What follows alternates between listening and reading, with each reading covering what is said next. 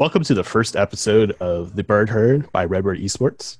Uh, today, it's joined by Gigatron, and who is Terry Coughlin, as well as uh, Max. I don't know your in-game name, so you can tell me. Saxy Maxi. All righty. So today we have David Kirk. Uh, David Kirk is also known as Captain Kirk. He's our president of the Redbird Esports. Do you have anything you want to introduce yourself with? Besides that? Uh, yeah, so I am actually the director of the esports program. Your president is uh, Skylar, actually. There we have it, director of the ISU esports program. Obviously, um, I messed up. I mean, well, director, president, yeah, it, it's the same thing. It goes hand in hand. You run it. He's got the leadership position overall. That's all that matters. Exactly. Right. So, um, Kirk, you know, we were told before that before coming to ISU that you had a gig over at Akron, and I guess our first question, we just wanted to see how much different, you know, coming over to ISU and starting to set up uh, our esports program was from Akron. Just you know, obviously, not every school is going to run the same way. Just kind of tell us a little bit about that. Yeah. So um, Akron Akron was fun uh, for a couple of reasons. One, because uh, we were starting something with the esports program that really didn't have a model anywhere else in the country at that time. Uh, also, we were kind of our own entity in a sense where we didn't report to athletics, we didn't report to uh, student affairs or campus recreation. Uh, we really just reported to the Honors College because that's where the initiative came from uh, but we were kind of self-sufficient and self-sustaining. So that allowed us and afforded us a lot of opportunities to be able to really craft the program the way that we wanted to without having to worry about a lot of red tape. But it also hindered our ability to kind of get the word out uh, quicker rather than you know doing some of the stuff that we did on our own and not necessarily having all that university support. So um, the best part about being here at ISU is uh, I've got some experience on things that went really, really well at Akron and things that didn't go very well at Akron.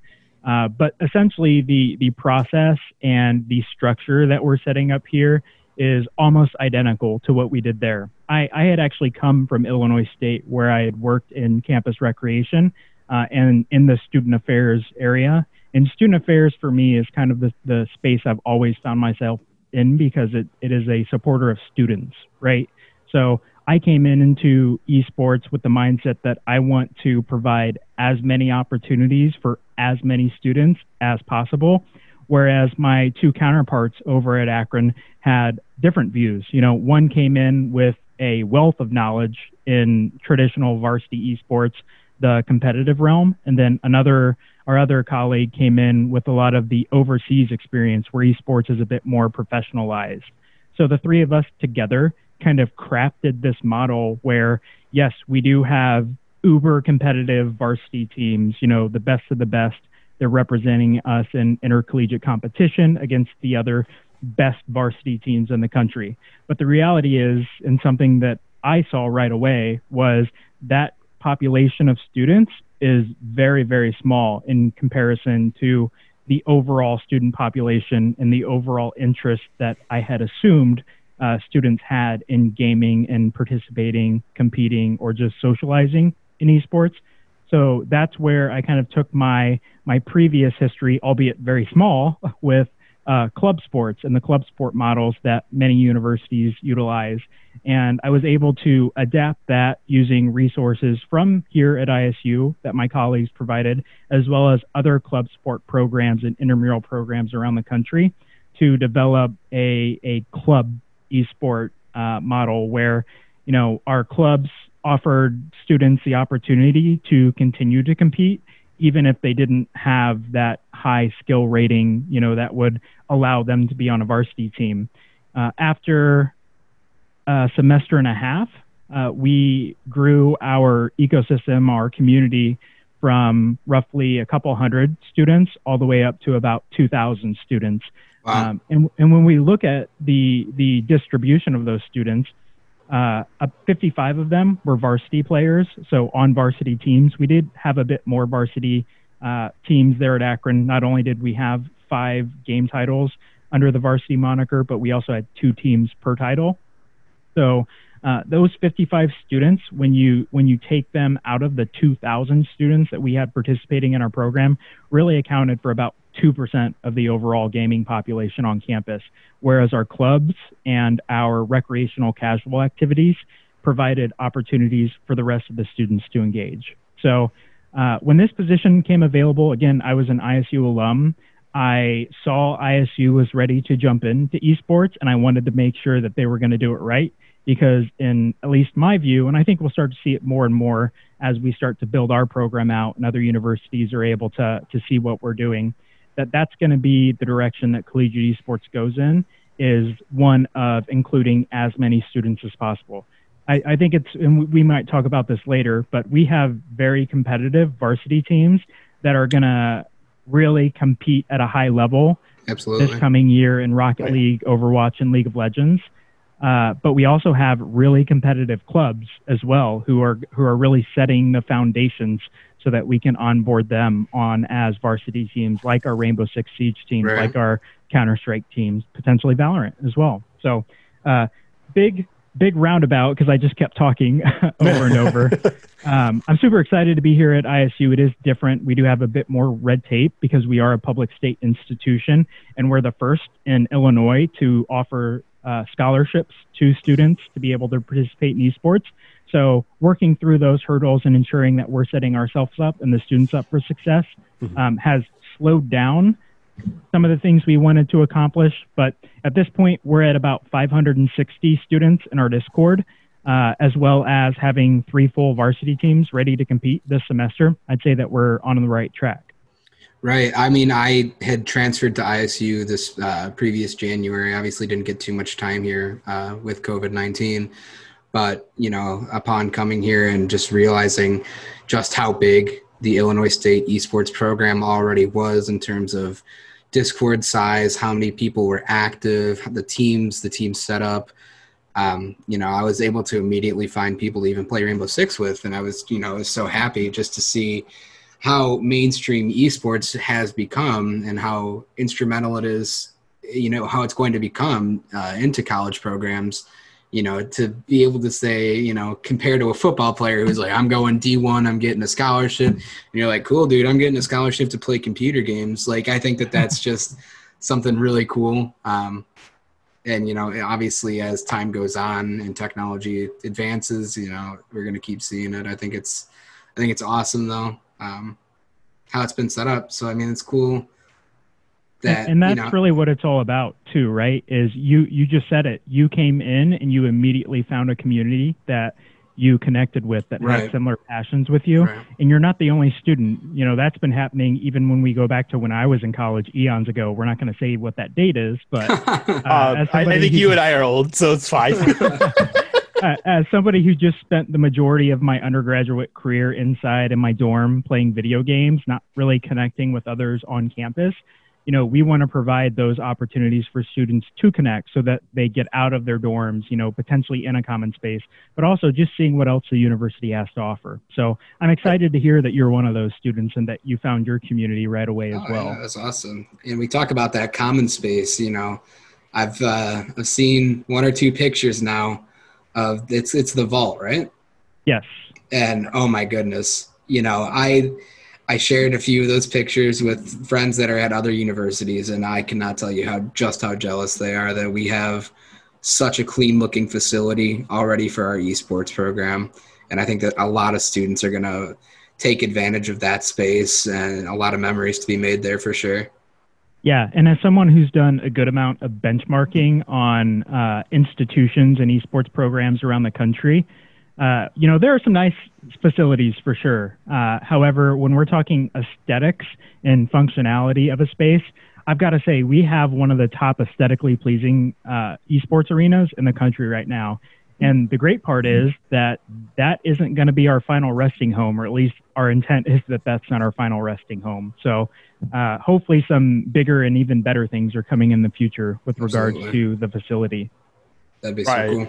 Yeah, because you're set up right now for for COVID nineteen. You're not your your full capacity that you want it to be. So I know I know COVID's kind of put a damper on a few things as well too. But um, I kind of wanted to talk to you about how you kind of got involved in gaming and what got you there essentially to you know be playing those games in your dorm room all the time and everything like that.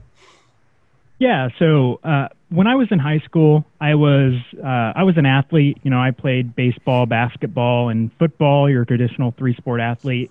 Uh, but I also played video games with uh, my friends, and that was really my outlet to be able to relieve stress, but as as a way to stay connected with some of my friends because they went all over the country when they went to college. So, you know, I, I'm also what I would term as an introvert as well. So you know, you may not be able to tell when you're talking to me, but I play it off very well. I do like to uh, to be alone, and I'm a very solid solitary person. So gaming just naturally is a great resource and a great outlet for me. So when I'm in my dorm room, you know, I'm playing with friends that I've known my entire life. You know, we're still staying connected. It's like we didn't skip a beat when we were younger uh, that really hurt my development in the collegiate landscape because again i wasn't making those connections on campus to my peers. So what would happen is as i got older i, I found myself just gaming more because i didn't have anything else to do because i had no friends. Uh, until i started you know getting out of my bubble and actually going out and meeting others. I also uh, was a big Harry Potter fan, so I helped to start the Quidditch Club at Indiana University, which really helped me start connecting and developing more friendships. Uh, and through that lens, I was able to see, like, wow, so it does make sense to get involved in campus and not just stick in your dorm room at all times. But the reality is, a lot of students have that same mindset that I do, right? Like, oh, why do I need to go out or do anything when I can access everything from here? I think COVID 19 has done a really great job of showing us that mentality that gamers have suffered for forever. And that, like, yeah, we can do everything online for sure, but we still really crave that human interaction and that, that human connection. So uh, right. for me, you know, b- getting into gaming, uh, I, I mentioned it earlier, but League of Legends was the first computer game that I actually played. And it was because, again, all my friends from home were playing it and got me connected with it. Uh, but League of Legends actually allowed me to break out of my my shell because I ended up finding some other folks on campus who played the game as well and started making those connections. So, uh, yeah, I mean that's where it came from was was League of Legends and me just being a loner essentially. no, and I could completely understand that too because like I'm not I'm not a total total extrovert introvert. I'm like like literally on the line that sometimes I cross over on either side. It's a hybrid. You know? Yeah, I'm a hybrid. It depends on the day. You know, like on a day I might be a little more introverted. I might be a little more extroverted. But I also started on League of Legends. Um, I actually was one of the first few people that started our ISU club um, for League of Legends uh, back in what that was 2010. Oh my yes. goodness! So uh, 2009, of course, got the game. I was in beta. I loved it and everything. Um, unfortunately, that account got banned because I, as unfortunately as the community is, we can be a little toxic sometimes. And oh, yeah. unfortunately, oh, yeah. Oh, back then I was, uh, I guess you could say, um, ninja essentially.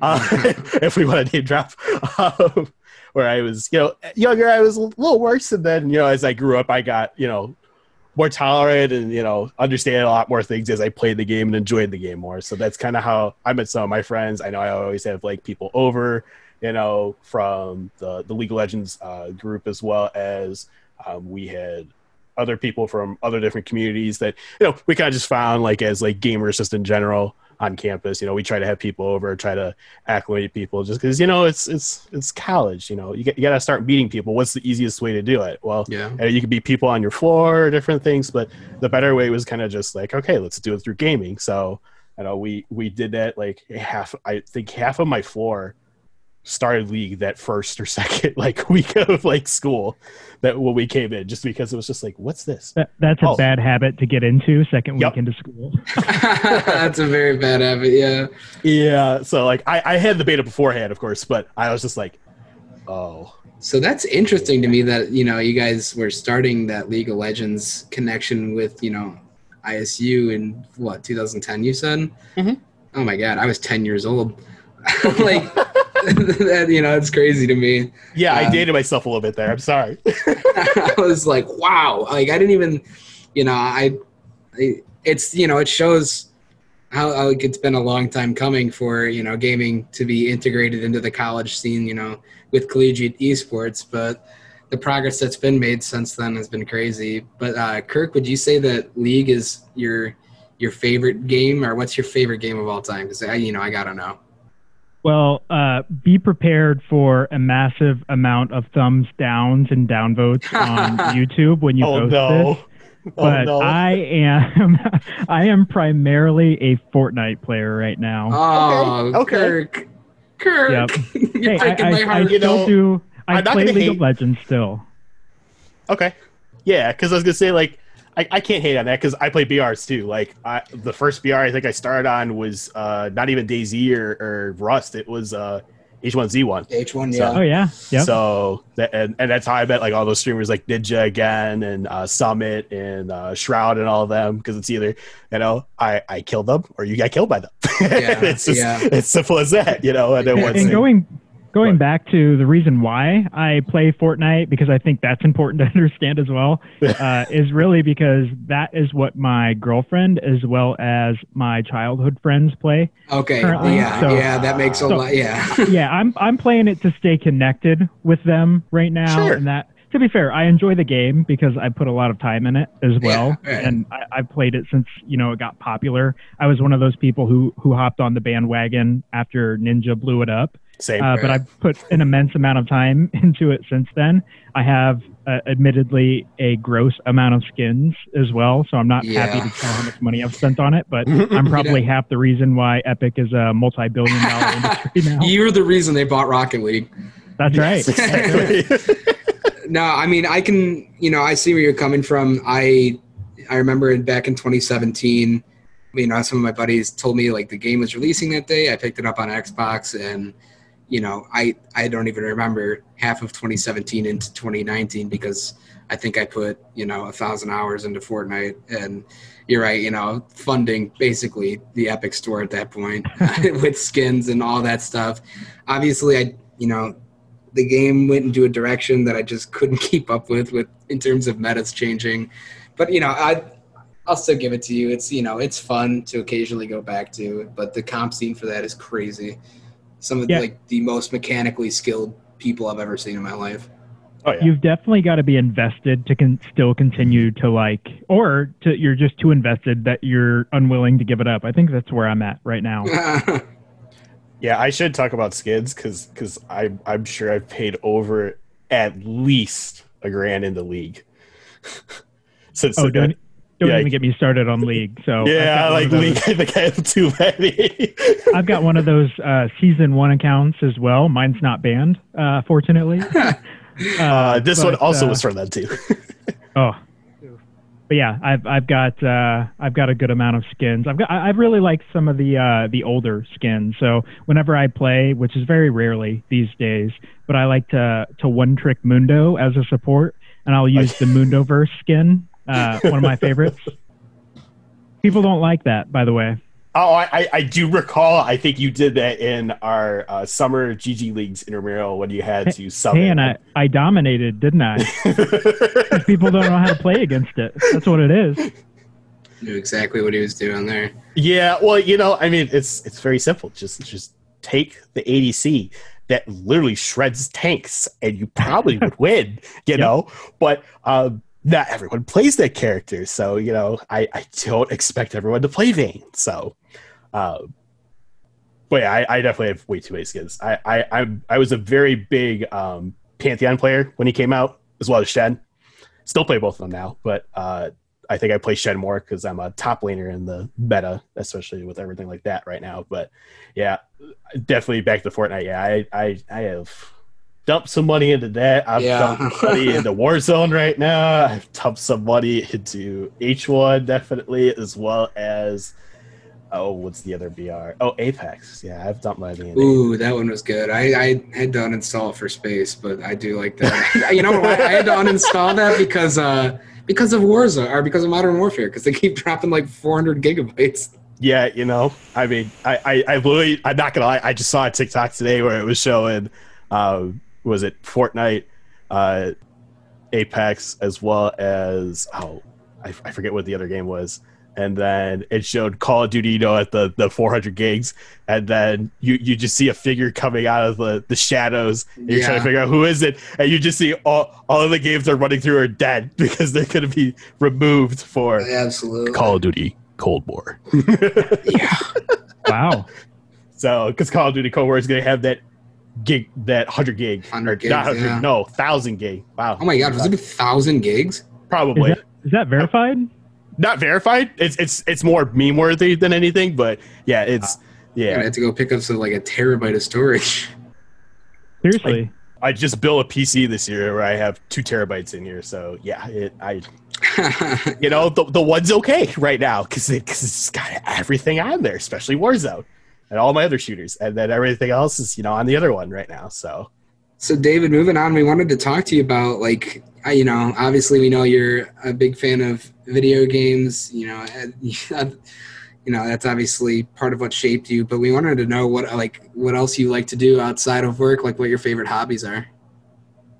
So I am a big DIY type person. Okay. Uh, not that I'm good at any DIY stuff, but I really, I really enjoy uh, looking up how to do things, uh, and then via watching YouTube videos primarily, and then trying my hand at it. So uh, some of the things that I've done in the past, uh, I've actually uh, fixed my own uh, head gasket that's blown on my car before. Uh, 100% by watching YouTube videos, uh, which saved me like $3,000 at the time. Uh, I can also say that I failed miserably doing that because about a month later it rebroke because I didn't do Oh, something no. right. So, uh, but you know what? I got a month out of it, and it took me, I think, two months to be able to to get it to that way. Um, I also really enjoy like woodworking and doing things with my hands. Um, but my main passions outside of esports is another tech related thing. I actually run a small YouTube channel uh, over hardware and, and technology Oh, that nice. I, I do a deep dive into benchmarking into different platforms and you know the benefits of you know different variations of your CPUs, your GPUs. So I like to stay up to date on all of that stuff when when it's happening, uh, and try to get most of that hardware. I am fortunate enough that some of that stuff gets sent to me for review. oh Uh, wow, but nice. Whenever it doesn't, I, I purchase it so that I can continue to to provide that content not just for those who are watching it, which again are very few in the grand scheme of YouTube, where there's billions and billions of, of viewers, um, but for my own personal interests as well, because you know a lot of a lot of that hardware uh, affects some of the decision making and, and some of the things that I do as a program director, ensuring that our students have you know the best of the best equipment to be able to compete at the highest level. So uh, whenever I'm not here, I'm either at home doing uh, home improvement projects, YouTube, playing with my brand new puppy, uh, or just reading about new tech stuff. yeah, I mean you're gonna have to shout out that channel because that's awesome. Uh, I allow people to find me organically. So oh, okay. okay, all right. I can Do tell you, any- I've I've shown up in the recommended feeds of uh, a certain 10 million plus subscriber YouTube that goes by the name of Linus. Nice. Ah. Kirk, that's awesome. Uh, you know, I definitely didn't think like when you first said tech reviews, like they would be to that extent, but that's so cool that you get to do that kind of stuff. You obviously have some opinions on the new series of graphics cards, I would imagine. I do. I, I am actually getting the 3090 sent to me on launch day. Oh, wow. uh, and it is the first high end card that I get to keep and I don't have to send back after review. So I'm super Nice. excited about that. Hey. Nice. Might be uh, looking at a giveaway for the Discord community here with that bad boy. Ooh. Okay. Little, Okay. little Good to know. precursor. Well, precursor. Yeah, that's awesome. Is, is there a specific um, part of that that tech review that you like doing? Like, is there is like is it like headsets? Is it the mics? Is it doing PC parts? Like, what what do you like reviewing the most? Honestly, I like doing benchmarks on productivity suites as well as games. So um, the main reason for that is just because there's a huge variety of games, and things don't run consistently across every game because of different APIs or the different engines that games are built in. So AMD, for example, is optimized for a certain number of game titles, right? Whereas Intel is optimized for another certain number of game titles. So trying to figure out that not really apples to apples comparison is what really drives me to continue to do it. And it also helps keep me informed, right? So that I know that, you know, hey, if we want to be at the highest level, we need the 3080 uh, that's coming out because it's going to be able to run at the 360 hertz that uh, NVIDIA is just launching. Yeah, I mean, I'm I'm really excited for those. I just picked up a 2070 Super this year with uh, this PC build. I, I went a little cheaper. I normally do a 2080, but I would have done 2080 Super, but I did not have as much money. You know, COVID relief uh, credit only gave you so much, right? hey, that that uh, that honestly wasn't a terrible choice because your 3070 now is going to perform better than a 2080 Ti. So at, I think it's $500 is what the MSRP for launch is going to be. Oh, geez. Wow. That's, yeah. that's so, definitely. So people who bought 2080 Supers and 2080 Ti's are kicking themselves in the rear now. Yeah, that's that's definitely. I think that's why I go with the '70s now because of the fact that '80s somehow just get beaten out by the '70s that next year or two years um, down the line, essentially from the new launches. So traditionally, the the '70 series has always been the best value for for the cards ever since the the uh, 970 came out eons ago. That's good to know for uh, next PC purchase. Exactly sorry to nerd out on the uh, the bird herd today.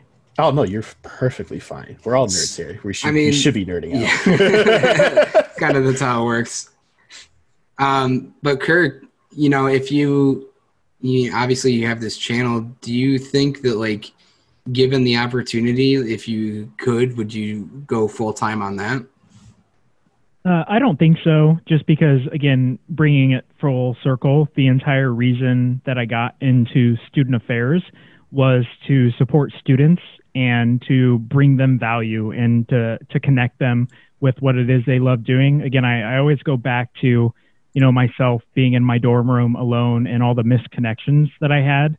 Uh, and I saw what we were able to do at Akron, where we had those 2,000 students um, you know, in the population in Akron, it's a commuter school, and it was roughly 17,000. So a pretty big chunk of the student population were participating in our programs, and just hearing the anecdotal stories of the connections that the students were making together, seeing the friendships building. Uh, for people just being in space, you know, not even being competitive, they just show up on a, a random Thursday evening to play Osu or some other like game that they could just launch in their own dorm rooms that don't require heavy graphics powers. So, you know, my whole my whole point and my whole reason for being in this industry is to be able to provide outlets to students so that they don't end up, you know, missing out on their college experiences as well as the opportunities that their their universities and the people at the university provide. So even if I got big, I would probably just use that clout to be able to develop some more resources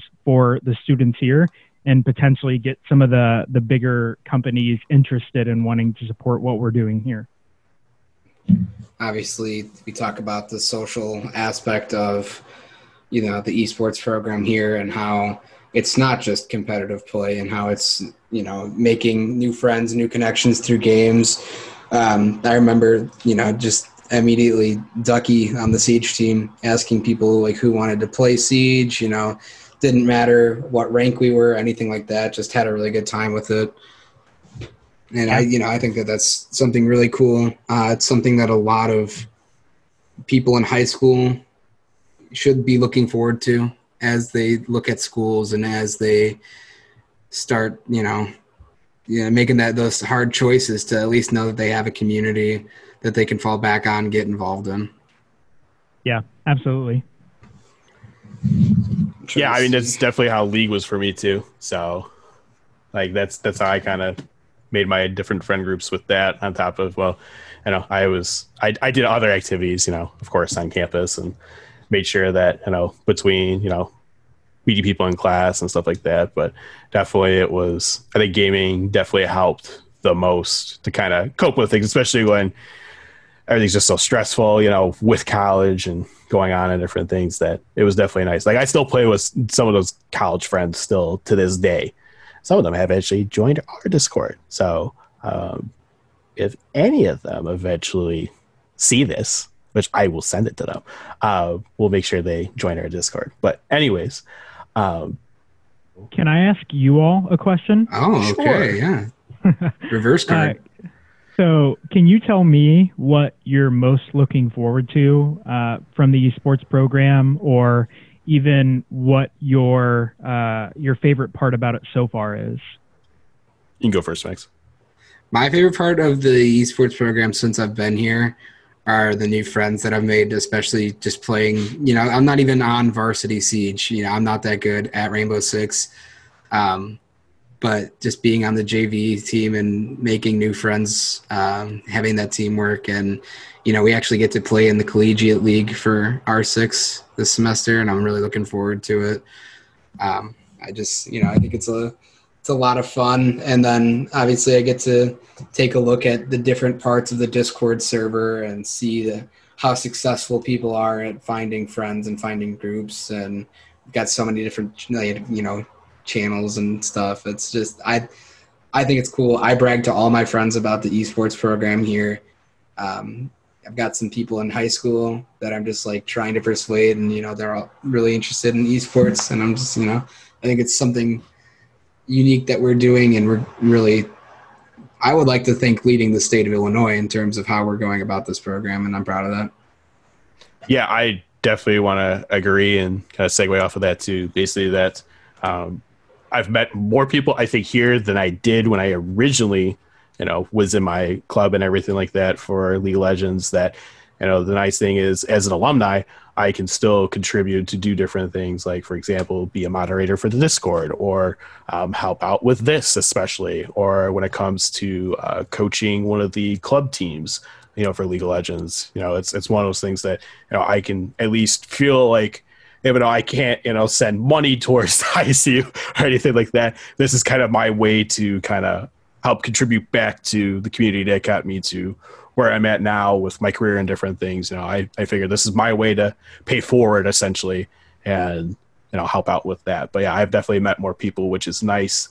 And, you know, it'd be nice to see all of you guys when um, COVID's not happening anymore. Yeah, we were talking about like all that stuff and how we wanted to get together as a team, but you know, it's obviously very difficult during COVID era.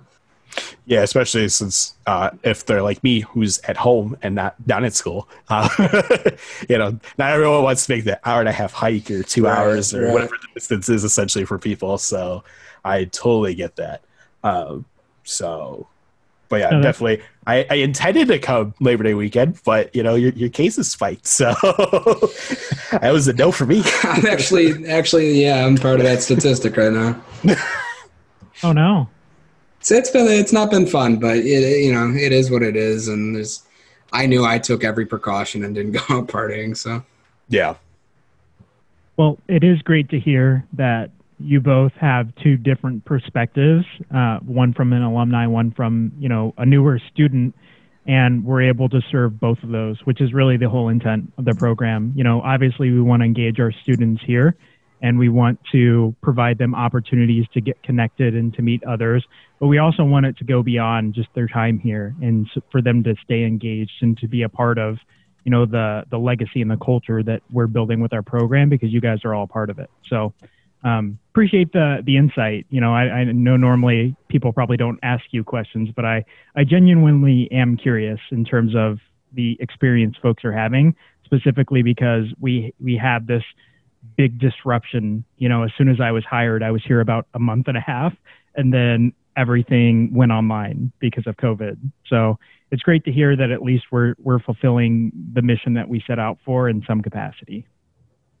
Yeah, it's, it's. I feel like it's definitely getting there, and unfortunately, COVID is putting a hinder on things. But I feel like you know it's it's strengthening these bonds with all these people, just because, especially for Max. I mean, he's meeting more people at, on campus that he can go and meet, go grab lunch or go see a movie or different things, you know, or you know, ha- have like a little small get together. I don't know what your uh, ten or ordinance less. is down Ten or there. less. okay, I don't. I'm like I don't know if it's ten or less. I don't remember Yeah. if it's five or less. I don't remember. So um, that's why I wanted to say like, yeah, it's it's nice where you can do that at least where uh, you can see your siege team or you know, I could go down and see any of the, the, the league people and different things. It's definitely one of those nice things that um, the community is definitely bringing together a little bit. I think more so that um, maybe another club would do, you know, on campus. You know, if they were dedicated towards like quit the the Quidditch team, like you talked about earlier, or um, a uh, sport, you know, of some other kind, or you know, a debate team or anything like that. But I think I think definitely this is on the right track, and I do appreciate it, and I do applaud you for all the work that you've done. David, Hey, it, it's not just me. Uh, Got to give a huge shout out to Jack Blonick. Uh, I'm sure you guys know him, but uh, previous club president is now our new graduate assistant for esports. Uh, he's really been putting the hours in to help the club scene grow. So, you know, really the whole Discord and the whole club scene is his baby. You know, I'm I'm a figurehead, but he's the one behind the scenes doing all the work, uh, as well as all the student leaders. So we can't have these clubs without students stepping up wanting to lead them. So, you know, I'm not going to take any other credit aside from, you know, bringing the idea. It's really on Jack and the rest of the students and the leadership for making it come to fruition. Exactly. I mean, it's definitely something that I, I feel like it's definitely being executed, and I'm glad that uh, Jack is still able to contribute. You know, even not being the president anymore. Right. Yeah. And that's, I think that's about it for me. Yeah, I think so too. Oh, I do want to ask one quick question. It'll be Uh-oh. very short. Final question. Final question, and we're done. Uh, so, for how is that process of recruiting all these people for the the varsity teams, the the varsity Redbird esports teams, not the club teams? Uh, so there's really no success there, right? Uh, we rely obviously on just the word getting out about the program from high school students around the country uh, who may be interested, which is not a great way to uh, recruit, honestly. But another thing that we found that was pretty successful is all of these games have their inherent leaderboards, right? So we know who the best of the best players are. So just taking the time to individually reach out to every single one of those players, which can be time consuming, uh, Mhm. and just getting interest or let seeing if they're interested in a collegiate experience. The great thing is a lot of them are of college age and have either skipped uh, going to college or haven't even thought about going to college because they had uh, professional or amateur aspirations. So a lot of the folks that we were able to land were some of those uh, some of those people that we reached out to. But again, just just hearing that esports is coming and that the university is willing to officially support it brought in other students and, and high schoolers from around the state of Illinois who weren't necessarily considering Illinois State, who we then became their number one choice. So it's kind of a mixture. You know, if I had the secret formula, uh, I don't think I'd tell you on here just because Yeah, of course. it to be stolen, but- Right. but but those are some of the strategies that we used that you know wound up being successful or i guess this coming season we'll see if they were successful yeah, I'm definitely excited to see how all these players work out and how they uh, can excel and promote our uh, college as well as our esports team. ditto Right. Well, that was Alrighty, uh, gentlemen yeah, good first episode. Uh, back to the bird herd. It was really nice talking to you, Kirk. Uh, it was a lot of fun. Yeah, it was a lot of fun talking to you. It was it was nice to actually talk to you instead of just type to you in Discord. right it's completely different right did i sound how you thought i sounded no, I, I can definitely say no. Um, but but I I would definitely not think you're introverted. I'll say that. I will I will definitely say that based on your voice. I don't think you're introverted. i've learned uh, to wear many hats over my time uh, in collegiate esports but also just collegiate Oh, so you're me. You're the jack of all trades. Got it. Yeah, no, definitely a, a good first episode and everything. I want to thank uh, Max for joining me today, as well as David Kirk for taking the time out of his busy schedule to talk to us and everyone else that's uh, a part of Redbird Esports. Yeah, I appreciate it, guys. Thank you so much for having me. Um, I really love what you guys are doing as well. You know, getting the word out about what we're doing in the program as well as the university and hopefully what some of our clubs are going to be doing. So, appreciate getting to kick off this uh, this new season of the Bird Herd, and I'm excited to to watch you all grow and develop this. Can't wait. Can't wait. All righty, take it easy, all. You take it easy too, You man. too.